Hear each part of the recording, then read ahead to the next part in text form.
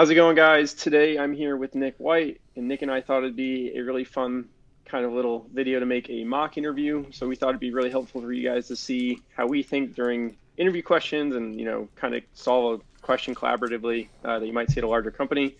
So today I'm going to be mock interviewing Nick, and we're going to give Nick a question in our coder pad here.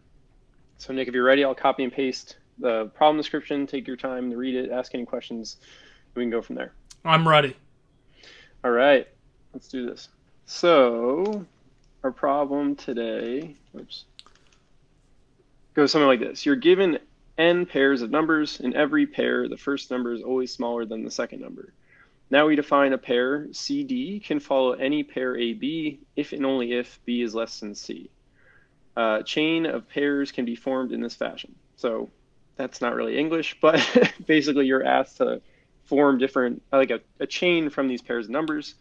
And it says that given a set of pairs, find the length of the longest chain that can be formed. You needn't use up all the given pairs, and you can select pairs in any order. So this is probably kind of confusing. So let's say Yeah. we had this input, and if this was our input, so again, these are just pairs of numbers, we would output two here, and that's because the longest pair or the longest chain that we'd be able to form from these pairs is one, two, and three, four.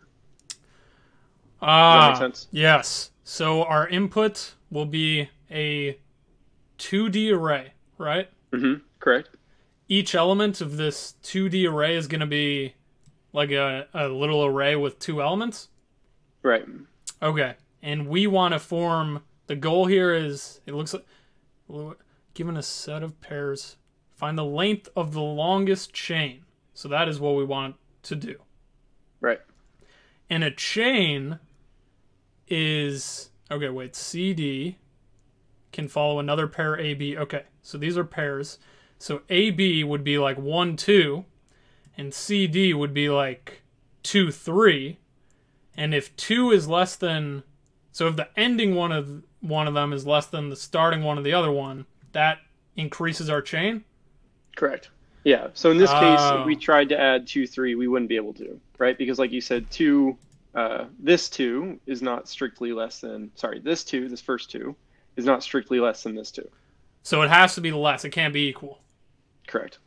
Okay, so that's why the chain length is 2 cuz it's one, two, three, four. Right. So that's why we'd return two because two is the longest chain, or the length of the longest chain that can be formed. Okay, I mean that makes sense. Okay, one thing I do have to ask though is this is like sorted, right? Good question. Uh, in this example, the pairs are sorted, but you can't guarantee that they will always be sorted. So you could be given these pairs in any order in reality, even though it's sorted here in this example. All right, well that makes it a lot more tricky. So, I guess what I, my I'm thinking is, I mean, it seems like sorting is going to be pretty necessary here. Um, we want it sorted, right? Because we want things to be less than the next thing. hmm So the first thing I would do um, is sort. So can can we? Uh, is there any way we could copy the method signature? Yeah, I gotcha. So let's say that we were asked basically to write a function called find longest chain. Okay, and we're going to be just gonna yell at returning an for a second. integer of the longest chain, the size of the longest chain. Right, yeah. So you could just return an integer representing the length of the longest chain you're able to form. Okay, so first thing I'm going to do, now that I know that, I'm just going to write int longest chain size is equal to zero.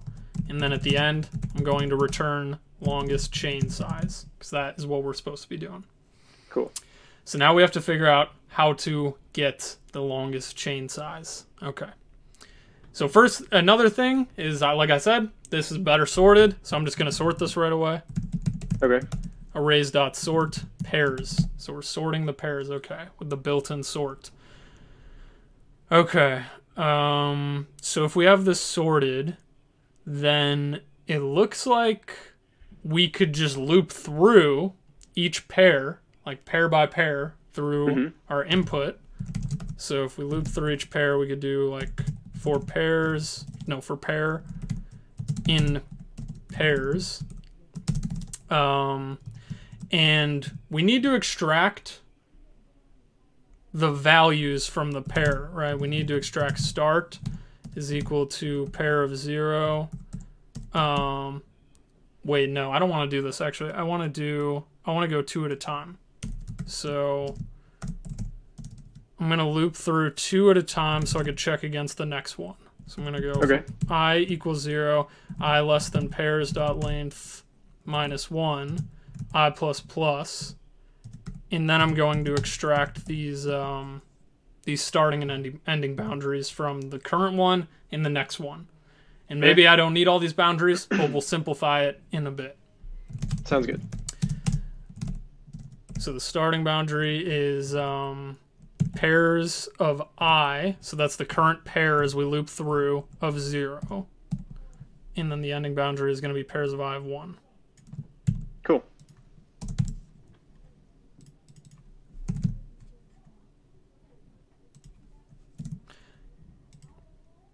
And then for the next one, we're just going to do i plus 1, and we'll just call it next start and next end. Okay.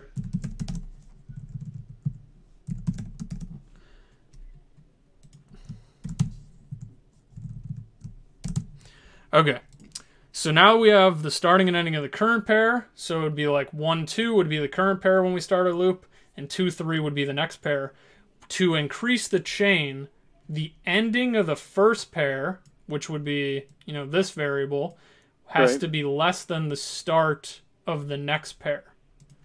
So I'm going to say if the condition will be if end is less than next start, then we would increment that would be an increase in the chain because that's what we want. Okay.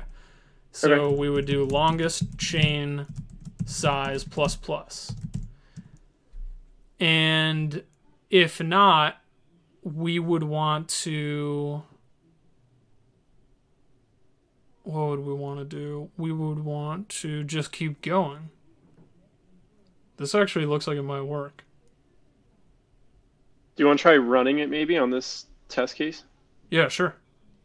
Okay, so let's do that. So let's just call this function uh,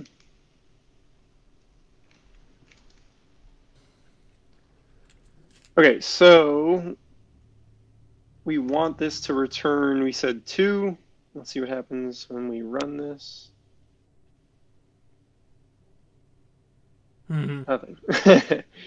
um, what is it saying? Cannot be cast comparable. Okay, so you it looks like you're getting an error on line 21. 21. All right, let's see. Arrays dot sort. um, is that like wrong syntax, or can we not sort? Can we not use a built-in sort like that on this 2D array? Yeah, so I think the problem here is that we need to tell arrays.sort how to sort uh, these individual arrays. Oh, So because it's a 2D array, yeah. so do we have to use like some kind of comparator thing? Yeah, you could use like a comparator, a comparator, or there's like a lambda function syntax too. Okay, Uh, I see. Um, so is it is it like this and then return or no? No, it's not. I think you could put curly braces if it's like a multi-line thing, but I don't think you really need to. I don't even think you need return, but I think you I think you could put it. I don't think you need it though. Oh, okay. Um, so maybe we do. Oh, these are arrays. the Oh, yeah, yeah, yeah. All right. I, I was like, I thought they were the values. I was like, this doesn't really make any sense. All right, that makes yeah, that would be more confusing. Um. All right. So if we, that is what I want. Yeah, this is. Right. so let's try running this again. and Let's see what happens. You can run it too at the top left if you ever want to. Okay, so it looks like we're getting zero. All right, that's not good. Maybe I would. I mean, I would maybe try printing this just to make sure that this is sorting in ascending order, but I feel pretty sure that it is. Two, three, zero. One, two, two, three, zero. One, two, two, three, zero. Why would it be? So I think you're not seeing that last array because of this one, and then I think the zero is actually just like the result that we're printing from the function call. Oh, So I see think what- it's- yeah, I think see it's sorted saying. right. Yeah. Okay. What if we try and go back to minus one and then maybe we should see if we're ever going in here, right? Because apparently we're not, but we think we should be, if that makes sense. So we want a CEO, but I don't think we're gonna, right? Yeah, I mean, I don't know why it's not. It doesn't look like it's looping the last time for some reason. Um, oh, dude, I'm not even printing the other values.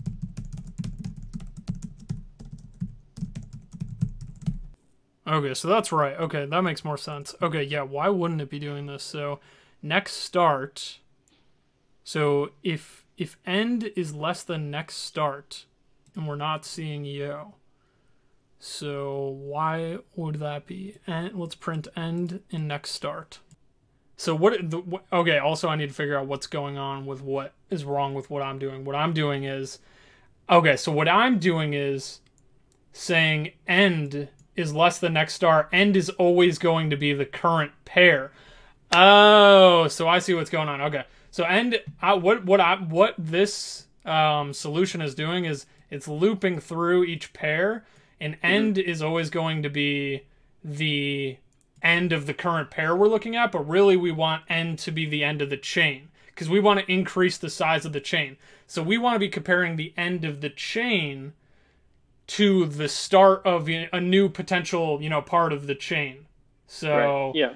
We right. want we, we don't want end to we don't want to be you know this this isn't what end should be. This is not end should not be this. First of all, we're not even going to need start, it looks like. And it also looks like we're not going to need next end. We do need next start, because this is the potential new add-on to the chain. Next start will always be the new potential add-on to the chain. And um, what we need to do outside of this loop then is I need to I need to make the start like no no no the end. I need the end to be like nothing or some okay. initial thing because the end should always be the end of the chain. Right. So to make it I mean I guess I could just set it to null maybe. I mean that might make sense. Wait no cuz then if I set it to null then how do I initialize it in here? What is the condition for when it gets updated? Okay, if if I have the end, if end, oh, if the new part of the chain, oh, the end is always the end of the chain. Okay, so if end is less than next start, then we'll also update end. So we'll say end is equal to pair the the new part of the chain's ending. So eh, pairs okay. of, pairs of i plus one of one. So the end of that that new block gets added onto the chain, and then the end becomes the end of the chain. Right. Okay, so that makes perfect sense. Cool. So this is gonna work actually. So the only thing I have to do now is initialize end. So to initialize end, can I just say um integer end equals you know null is this gonna work wait no because if if null is less than no it can't it has to be like min or something maybe this wait this might work right maybe let's see let it rip. So yeah, what I okay, yeah, and then we'll explain it, I guess, at the end if it works. Maybe, hopefully, it works. God damn it. Okay.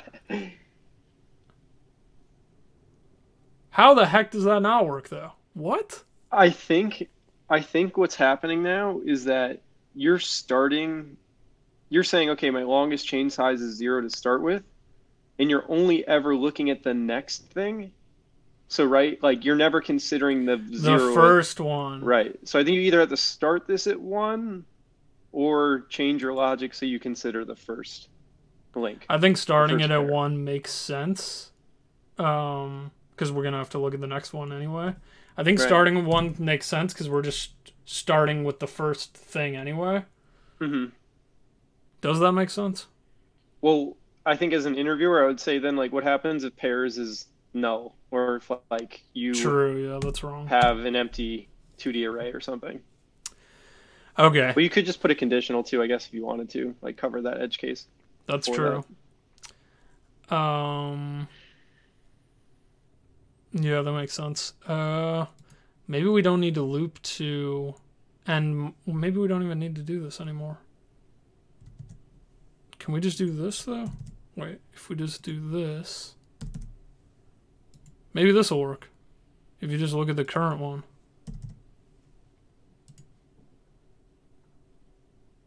Oh yeah. Nice. Yeah. Yay, awesome. Cause yeah, we don't even need to look at the next one anymore because the whole the previous thing is handled now by just the end variable. Right. So that's just Nice. always the end of the chain. You look at you loop through, you look at the current thing, we make our end, we add this, you know, at first end is mi- the min- minimum value possible. So we say, okay, is the minimum value possible less than this? Okay, we add this onto our chain. Now this is the chain, then end becomes the end of the chain. 2. Then we look at the next one. Is n less than this? No. Then we look at the next one. Is n less than this? Yes. So this gets added onto the chain, and then the n becomes 4. You know what I mean? So the end just Right. keeps becoming the end of the chain. We look at the next thing in the array, the next pair, and say, hey, can we add this onto our chain? If so, n becomes the next end of the chain. We just increase the longest chain size. All right. So this is like some kind of like um, I don't know. You think like I don't know, dude. It's like a greedy algorithm. Yeah, I think it's probably greedy because you're always trying to just take the next thing if you can. It's like something Uh, like that. It seems like that, right. right? Yeah. What would you say is the the runtime in the space complexity? Well, we're just looping through, so that is a linear loop, but we do to do the sorting up here. So we got that n log n. So you got n log n right there. Cool. But Nice. um, yeah, it's that wasn't that bad. Do you think that's optimal? I think it is because otherwise, I think you have to basically.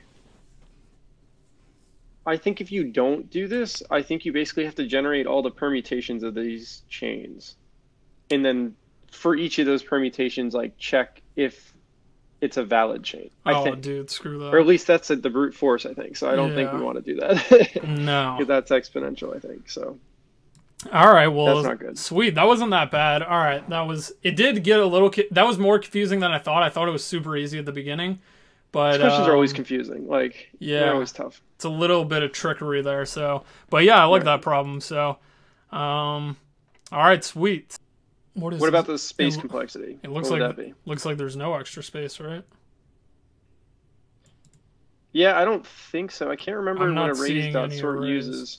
Yeah. I don't think it uses merge sort. I don't think you have to worry about extra memory. All right, sweet. Um, one, so I guess that's it. good stuff, man. That was good. Sweet. All right, guys. So that's going to do it for the video today. Nick, thanks for hopping on call and making the video with me. Super fun. It's always great to work with Nick. If you guys enjoyed this video and want to see more of them, be sure to leave a like and subscribe to the channel for more. Let us know in the comments below what you thought. If you guys haven't checked out Nick's channel, go check it out. He's almost at 40,000 people, which is literally nuts. It's He's gonna have the second part of this in- interview with me, where he actually interviews me on his channel. So make sure to go ch- check that out. It's a We'll good guys in the video. He did very well. Really good. It's literally the best. Chef's kiss. All right, see you guys. Perfect.